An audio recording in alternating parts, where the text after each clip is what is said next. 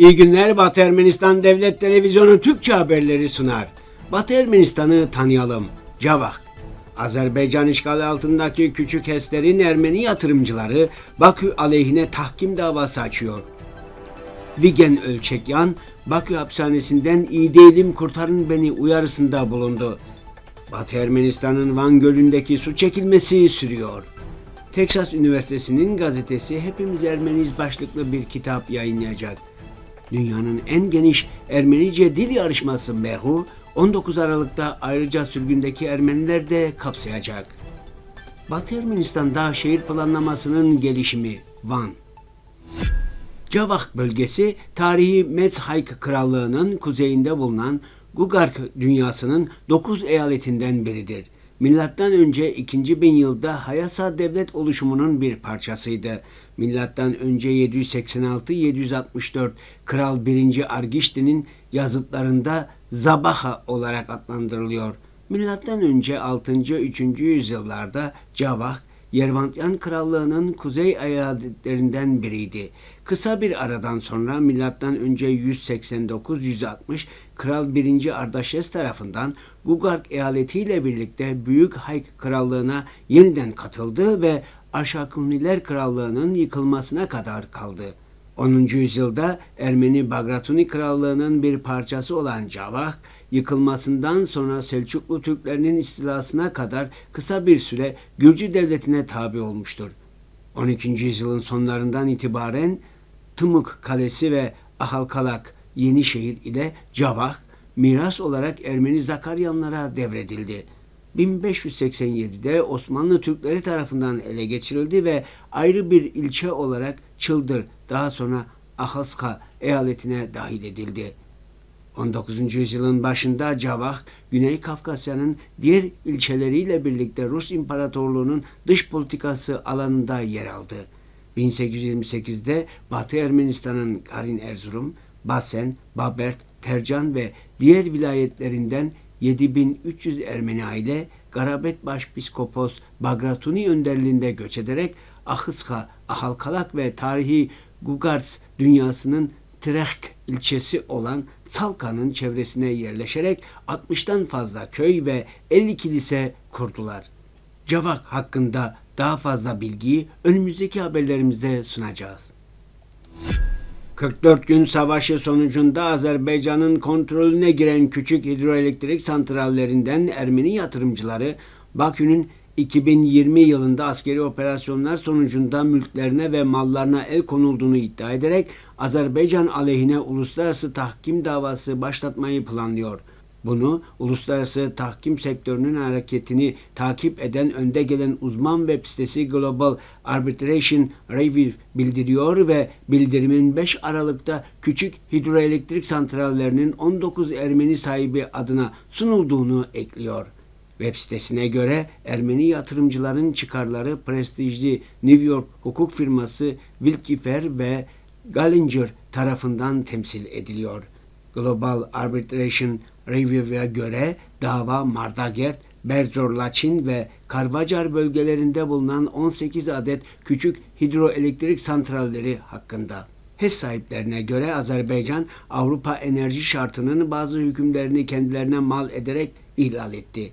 1991 yılında imzalanan bu belge aynı zamanda enerji sektöründeki uluslararası anlaşmazlıkların çözümü için bir mekanizma sunmaktadır.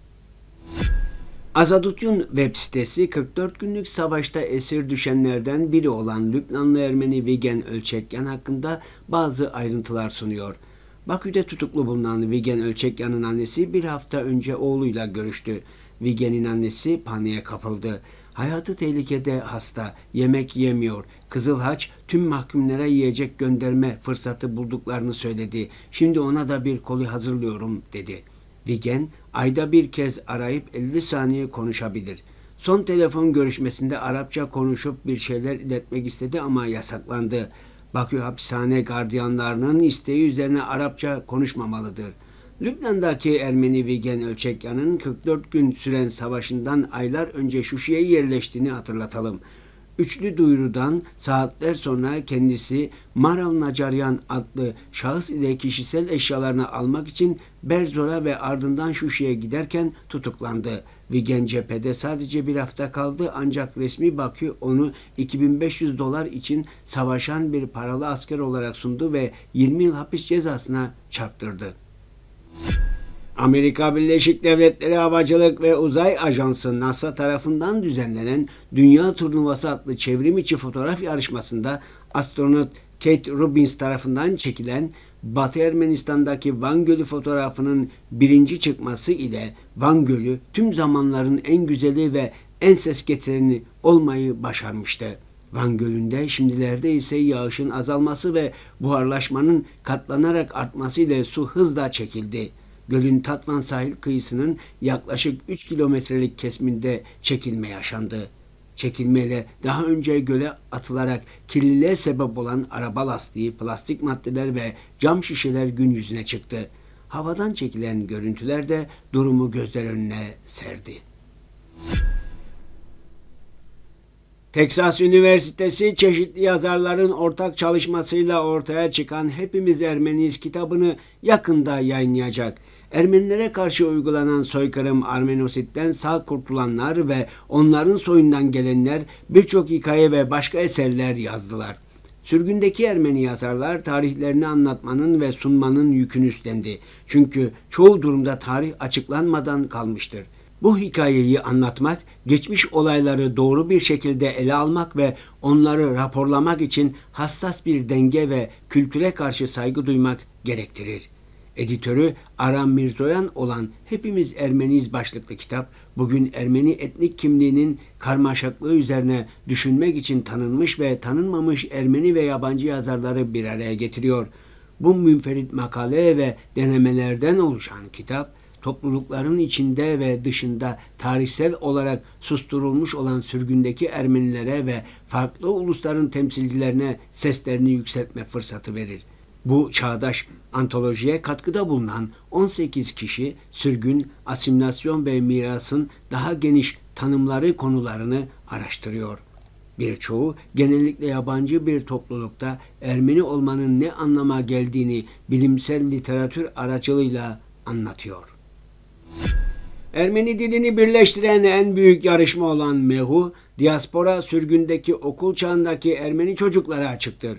Bu yıllık eğitim bayramı başarılarına, Ermenice dil yeterlilik düzeylerine ve bulundukları yere bakılmaksızın Ermenistan Cumhuriyeti'nin Artsah'ın ve sürgündeki Ermenilerin 3. 12. sınıflarındaki tüm öğrenciler için öngörülüyor.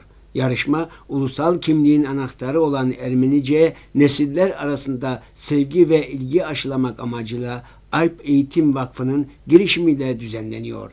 Yarışma çevrim içi, Yarışma diasporadaki Ermeniler için 19 Aralık'ta, Ermenistan Cumhuriyeti ve Artsak'taki Ermeniler için 26 ve 27 Aralık günlerinde gerçekleştirilecek. Son kayıt tarihi diasporadaki Ermeniler için 16 Aralık, Ermenistan Cumhuriyeti ve Artsak için ise 20 Aralık. Milattan önce 9. yüzyılda Batı Ermenistan bölgesindeki Van Krallığı'nın kurulmasıyla birlikte Ermenistan ve Ermeni halkı niteliksel olarak yeni bir gelişme dönemine girdi. Bunlardan ikincisi bir dizi başarı ile karakterize edilir. Bunlar arasında en önemli şu şekilde yer alıyordu. Gelişmiş devlet yapısı, yazı sistemi, yüksek ekonomik yaşam düzeyi, mimari, ayrıca şehircilik, organize sulama sistemi. Van Krallığı'na ait şehirler çoğunlukla yüksek tepelerin çevresine yayılmış, bunların tepesine surlarla çevrili kaleler inşa ediliyordu. Orada su kanal sistemleri, sarnıçlar, köprüler, bahçeler ve hamamlar, saraylar ve tapınaklar inşa edilmişti. Ararat Krallığı'nda çeşitli önem taşıyan şehirler vardı. Bunlar arasında kralların ikametgahı, idari, ekonomik, askeri ve tapınak şehirleri yer alıyordu. Kanal inşaatı merkezi hükümetin kontrolündeydi. Bu anlamda eski dünyanın eşsiz anıtları arasında yer alan Menua ve Rusa krallarının kanalları özellikle ünlüdür. Van Krallığı'nın inşaat sanatı daha sonra Küçük Asya ve özellikle Ahamenik İran'ında inşaat geleneklerini büyük ölçüde etkiledi.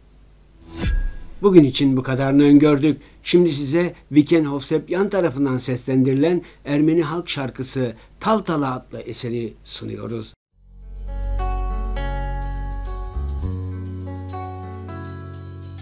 Taltala, taltala, tal bohit hurban.